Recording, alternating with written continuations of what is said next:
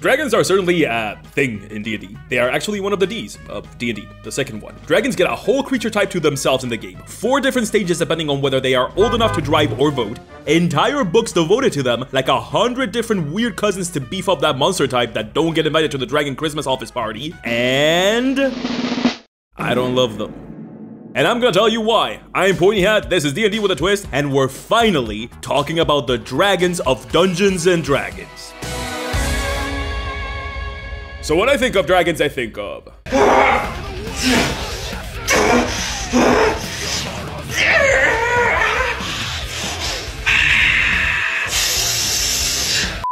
In this D&D with a Twist Dog and Pony show series, I talk about a D&D thing, tell you a bit about how it goes, I poke it with a stick a little to see what it does for the game, and then I give you a whole free thing at the end of the video to use in your D&D games. And I may have, you know, mentioned once or twice in other videos that uh, I'm, I'm not the, the biggest dragon fan around. I don't want to hear more crying about how I hate dragons. You have impossibly cool treasure planet ships and you give these guys dragons?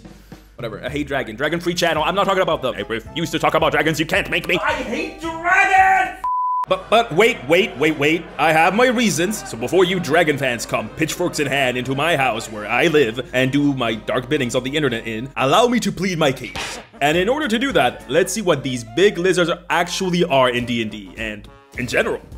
So in order to talk dragons in D&D, we gotta talk dragons in general. Just general dragon lore. General dragon lore is kind of like an understatement as nearly every culture in the globe has something that could be called a dragon if you really, really, really want to prove a point. From the fire-breathing evil European lizards to the water-type snake Pokemon of Eastern Asia to, I don't know, Quetzalcoatl in Mesoamerica, if you want to push for what is allowed on the Dragon Wiki page. Dragon-like creatures are everywhere and they are all very different. Some are evil, some are good, some are basically animals, and others are impossibly wise, some inhabit the realms of 90s children cartoons, and some are relegated to outdated gamer memes. The world of dragons is vast and far too boring to get into this video. What you need to know is that D&D kind of maps their dragons exclusively to what is commonly referred to as Western dragons, as opposed to Eastern dragons of places like China, Korea, or Japan. Dragons in D&D are impossibly powerful things, monsters, race. I'm I'm going with race. I'm I'm gonna go with race. They are these incredibly old race of lizards that basically precede everything, including elves. And elves are often assumed to be the oldest ones, so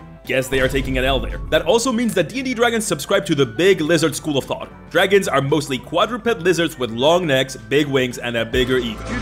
Because of being in the literal title of the game and sort of the poster child of the game, D&D dragons have had like 77 moments in the spotlight throughout the editions of the game. To the point where very fun people on Twitter call D&D the dragon game, and one of these dragons is currently renting the ampersand in the middle of the Ds. Cool logo though. Anyway, this means we get like a thousand dragon families, so let's take a look at some of them. But before we do that, we need to find said dragons, and that's no easy task. If you're doing dragon studies, you will be expected to not just jump to wildly different biomes, but different planes of existence. So you better have access to a lot of teleportation spell scrolls. Or you could try a different way.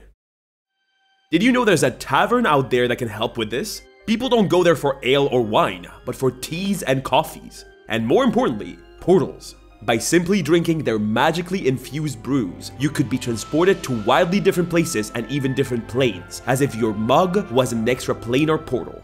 The name of this establishment? The Many Worlds Tavern. And guess what? They've sent me their magical brews! I don't have a mouth to drink them with. Familiar? I'll go get the box.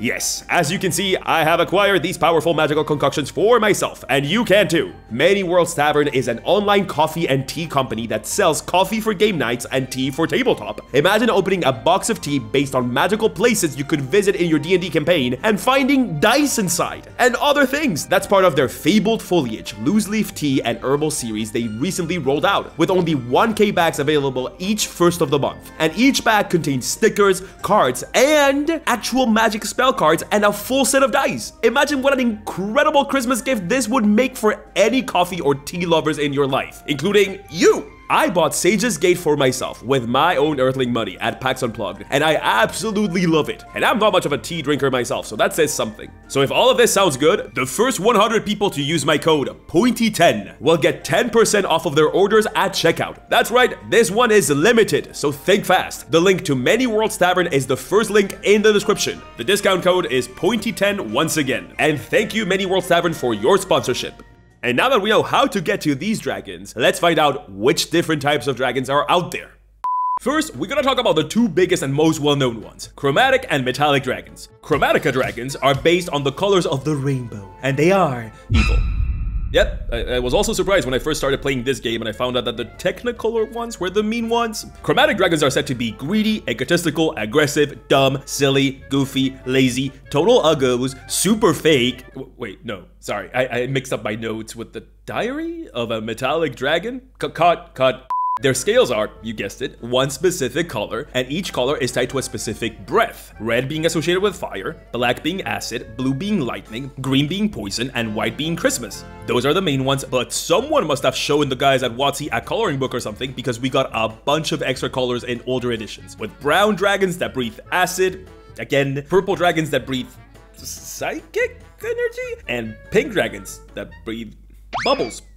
Let's not dwell deeper into that. Let's move on. And like a bunch more. But the more important ones are the big five. Red, black, blue, green, and white. And I'm not the one saying that. The Chromatic Dragon's literal queen, Tiamat, agrees. Since she has five heads and I don't see any of them being purple or brown or pink. The fact that Tiamat is the god of chromatic dragons, and also a literal archdevil from hell, kinda clues you in that these guys might not be all that nice. That's right, chromatic dragons are yet another victim of my dreaded nemesis alignment rules. But for each bad dragon, no, no, no, no, stop, do not Google that.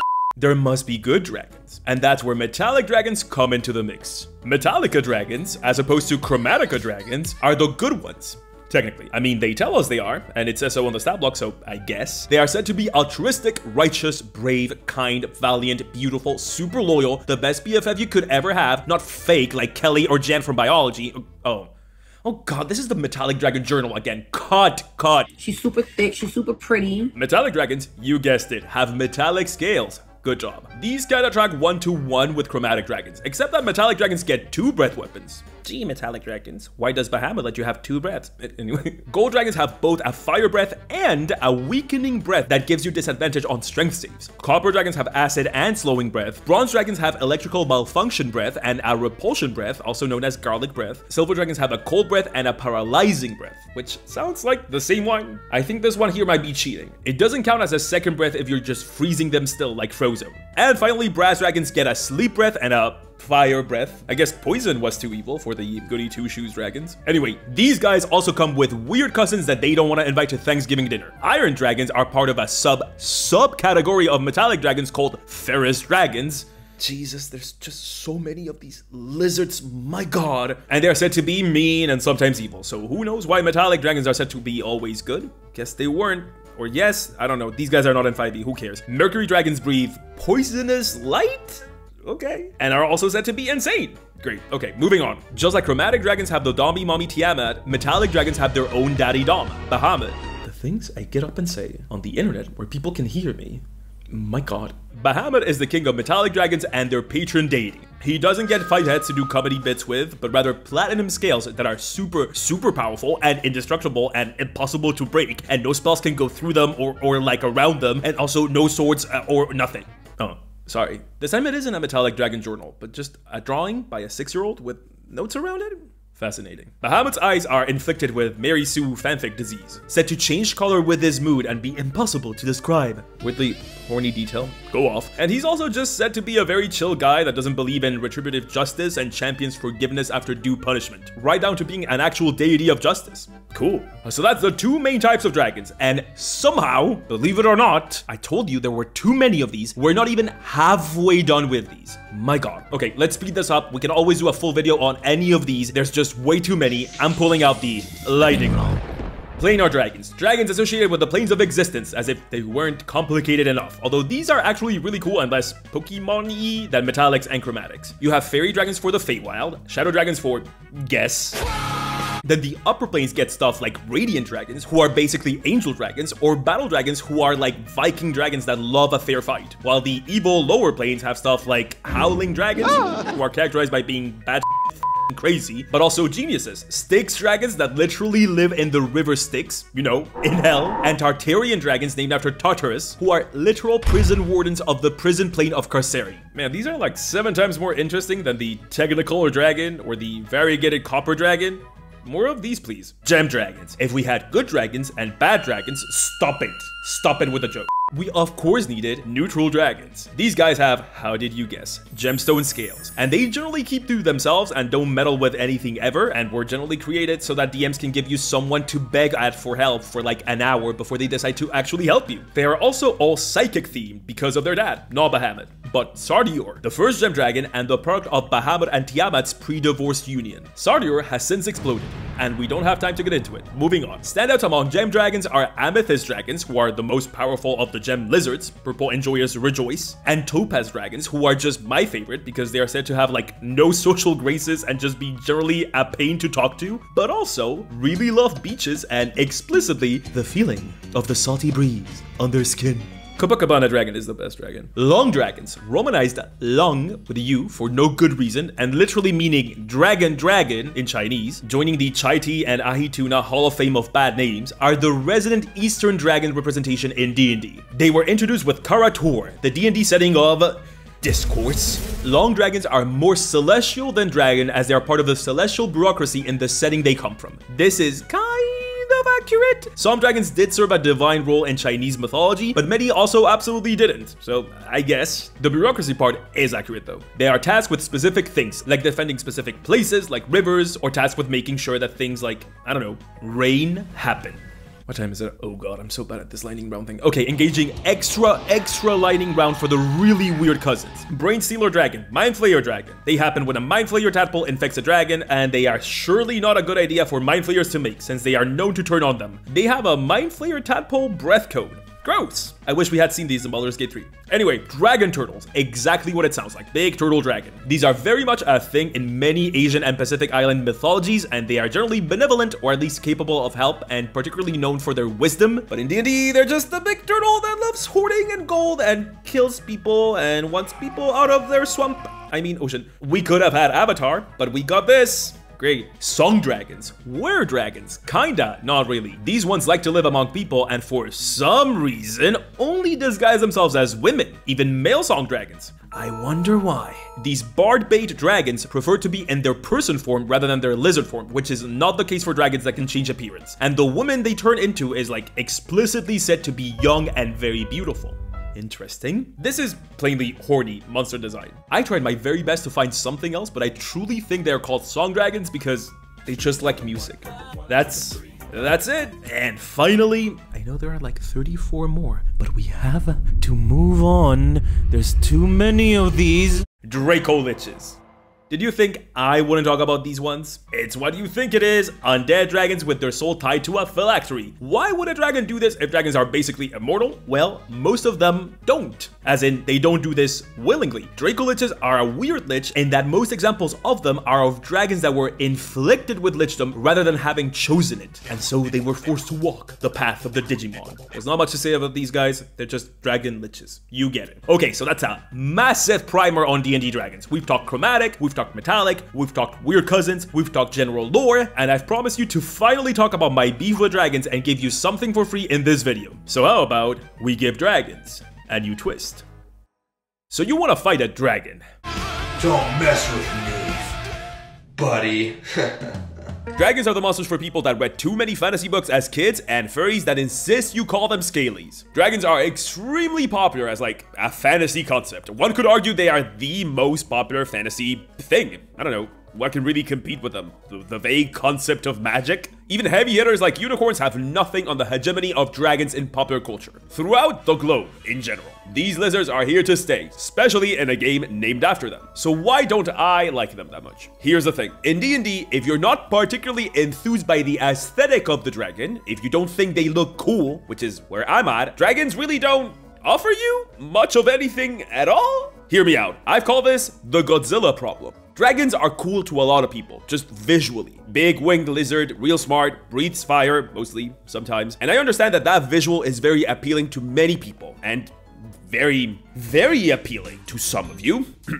and I'm not here to kink shame. Not that there's anything wrong with that. But I'm here to say that if you're not in the camp of dragons look cool, if they don't look cool to you, dragons don't give you much to work with in D&D at all. Godzilla is an extremely powerful thing, creature, monster, it rises from the depths to terrorize Japanese people and be an embodiment of their cultural anxiety towards nuclear war. Dragons are certainly very powerful monsters in D&D, they can accomplish the same thing Godzilla can, they can raze cities to the ground, they can certainly put your players through a tough time, but they are not much more than that. Just like Godzilla, they are powerful, but looking at their stat block, that is really, really where it ends with dragons. They are a threat, but I find they are not particularly evocative to base quests around. A dragon can very much destroy, but based on his stat block, it can't do much more than that. Especially when like 70% of them prefer to stay in the middle of nowhere in whatever biome matches their Pokemon type. Yes, they are also smart, but so what? Plenty of monsters are also smart, this doesn't make dragons anything special, and nothing in their stat block really takes advantage of this, other than the fact that it's their spellcasting ability. But pointy, I hear you say, dragons can turn into people and can cast spells. Yes,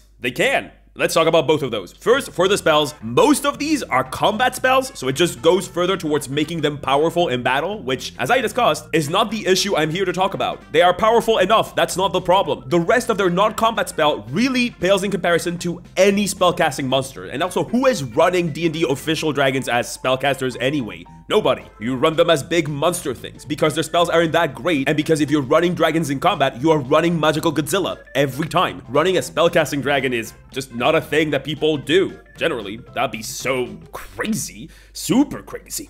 Anyway, next, for the human thing, yeah, they can indeed turn into a person, at which point, does it even feel like a dragon anymore? If the quest you are gaining access to by putting a dragon in your game is because they are pretending to be a person, it's not that dragons as a monster are evoking adventure ideas, you're just using a person to make a quest around and then revealing that it was a dragon the whole time. And then you run a Godzilla fight. Again, a fight against a thing that hits hard and has a lot of hit points and that's it. Nothing intrinsic to the dragon has made that quest possible because they are a dragon, unless it's to give a reason as to why this random person is so powerful. In which case, yeah, we both agree that dragons are powerful. There's also something to be said about overuse. Mythology is an almost never-ending source of inspiration for monsters, adventures, and characters. And because it's so vast, it really, really gets old when we keep going back to one thing especially if you don't find that thing all that cool looking. Dragons have had their spot in the limelight a lot. They are bound to become samey and all hat after a while, especially if all they show up to do is destroy whatever the heroes care about. Once again, Godzilla problem. They sure are flammable, but not much else. But I didn't come to this video to complain about dragons and leave it there. And I understand that there's plenty of people, believe me, I look at my comments, out there that absolutely love the concept of dragons and the look of them. So I want to do the impossible. I want to both appeal to dragon lovers and dragon haters. I want to make a dragon that dragon enjoyers can enjoy, but that makes it easy for you to base quests, adventures, entire campaigns around. Hell, even player characters if you want a dragon heavy backstory. Isn't that what players that like dragons want to do? And why not try to make dragons feel distinct? Use some of the aspects of their mythology that are often ignored. So I think I have a solution. Hear me out, hordes. Dragons are known to hoard things, at least in Western cultures they are. That's like one of their defining traits, and it's barely explored in D&D. What if we took that and used it to make dragons that play massive roles in the worlds that they inhabit, instead of living in bumf nowhere swamp mountain volcano, or pretending to be a goblin to live in society where no one even knows they're a dragon. But how do we do that? Hear me out times two. People. We're gonna make dragons that hoard people. Let's go. Even among the widely different draconic families, there is bound to be those that break the mold, and Warden dragons are exactly that. While most dragons hoard prized magical items, mountains of gold, or spoils from previous battles, Warden dragons are defined by their hordes, because their hordes are people.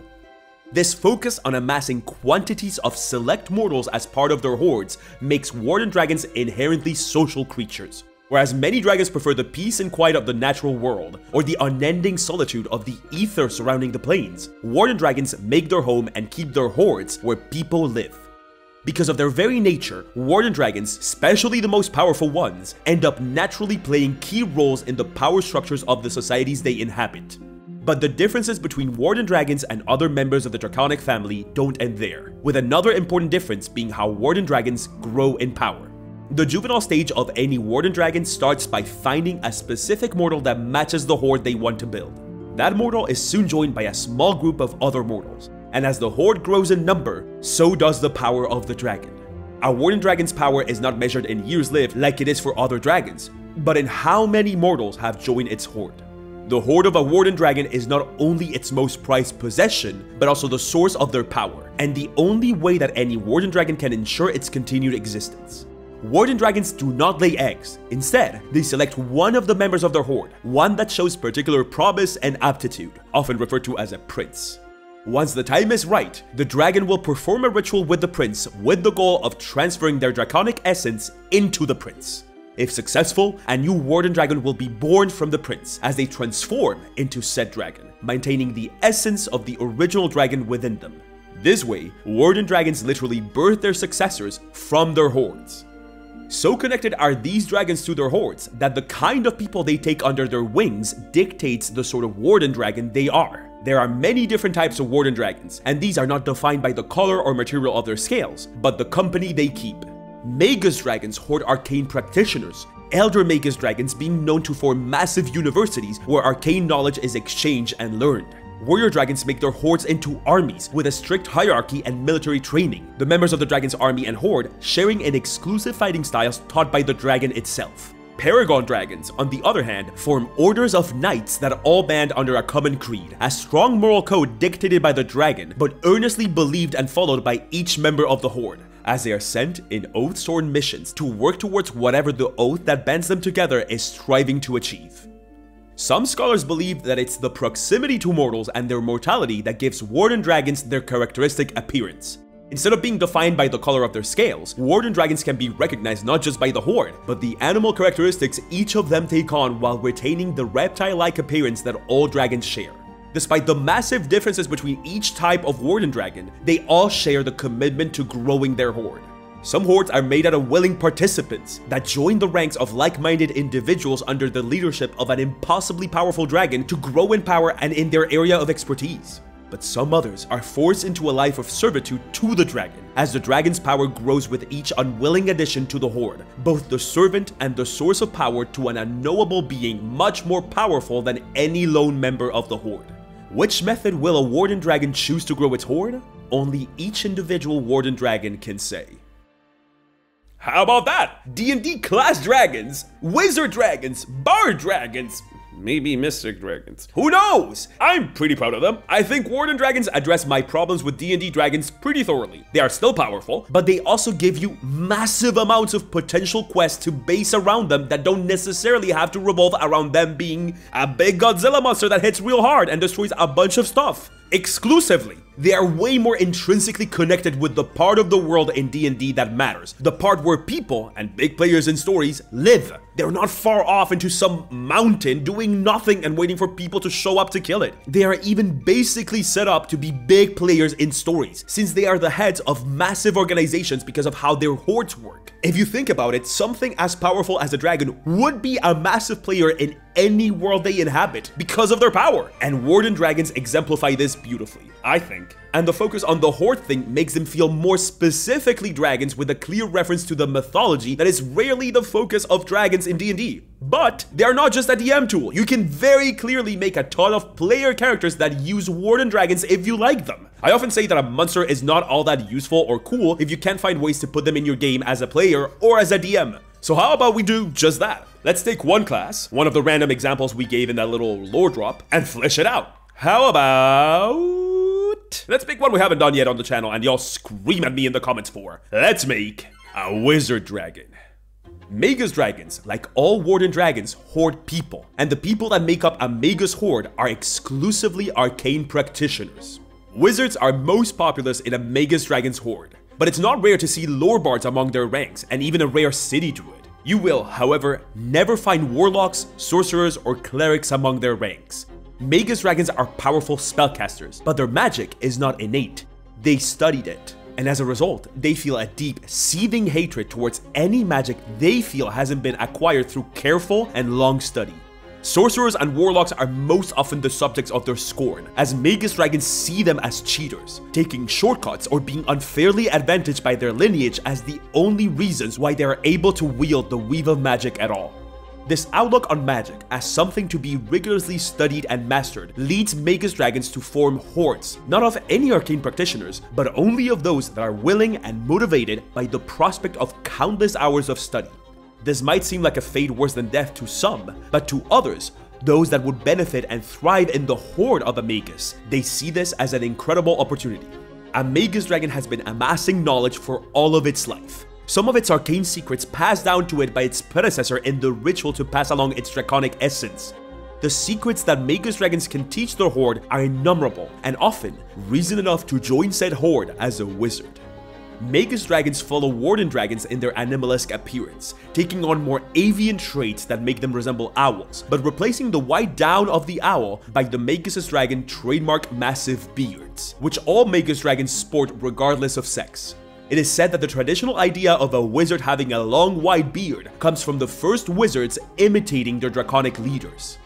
When a Magus dragon has accrued enough members, its horde is called a circle, and particularly big circles find themselves becoming veritable universities. Some of the oldest and most renowned institutions of arcane learning are the circles of a Magus Dragon, centuries old in their study of the arcane. This academic approach to horde making has some interesting results. First, it's very, very common for circles to develop intense and fierce rivalries towards one another. Universities led by elder Magus dragons end up as bitter rivals, keeping their best kept secrets from one another, all while sending members of their hordes into rival universities to unearth those well kept secrets. Many a wizard tavern brawl has started with a conversation over which Magus dragon is most knowledgeable. The process of prince selection for a Magus Dragon is also a product of this insistence on academia. A Magus Dragon generally never goes off of instinct when making any decision, much less the decision that will dictate which body its draconic essence will embody next. Members of a Magus Dragon circle are constantly being graded, and their grades are shared publicly amongst all members of the circle. Their arcane discoveries, their research papers, and their exam results are constantly broadcast to the Horde, and whoever is most academically gifted is who will one day be chosen as the prince to transform into a Magus Dragon. Faced with this relentless competition, many students throw themselves into their studies, and once they have exhausted everything their circle could offer them, they move their coveting eyes outwards. It's not uncommon for wizards who wish to rise in their circle to go on adventures, seeking knowledge that not even their dragon knows, in an effort to rise above the other pupils and be chosen as the next prince. This, of course, doesn't go without rivalries, and it's regrettably not uncommon for the most bitter of rivalries to end in sudden and inexplicable deaths of fellow academics, as the most brilliant minds of a circle fight in a constant battle of wits and magic to prove themselves superior to the rest, all the while enriching the dragon they have sworn fealty to and deepening the dragon's pool of knowledge. The most evil of the Magus dragons will do this on purpose, using spite and jealousy as a way to motivate their horde into growing the dragon's knowledge for itself, caring little about the mental strain that this constant competition causes amongst horde mates. That's a pretty sick dragon concept that you can base a PC or a full adventure around, I think. Think about it. You could play the smartest student of a Magus Dragon Circle as they leave on their quest to secure their position as the prince by learning even more things from the outside world, all while dodging the attacks of jealous students. Good thing you can always rely on your good friend, best friend from Backstory. Oh, what's that? Best friend from Backstory is also trying to kill you? Oh, the drama, the humanity. Or how about a particularly incompetent wizard that is trying their hardest to be chosen as a prince? They might not be the best at studying, so they put all their eggs in one basket, discovering the magical secrets of the rival circle to impress their dragon. I can think of so many characters, and hopefully you can too. Well, hopefully not, because Magus dragons don't exist. Warden dragons as a concept don't exist. I mean, not in the way that D&D things don't exist because they are fantasy and make-believe, but, but but in the way that I just made them up for, for this video, you know, for, for fun. I mean, I guess you could make them yourself. Have fun doing that, I guess. It's always tough to make dragons, I find. Especially a spellcasting one, because a wizard dragon has to feel like a spellcasting one, right? Oh, that's a weird monster to make for sure. Good luck. Oh, what's that? You want me to make the stat block? Despite you knowing full well I am a certified dragon hater.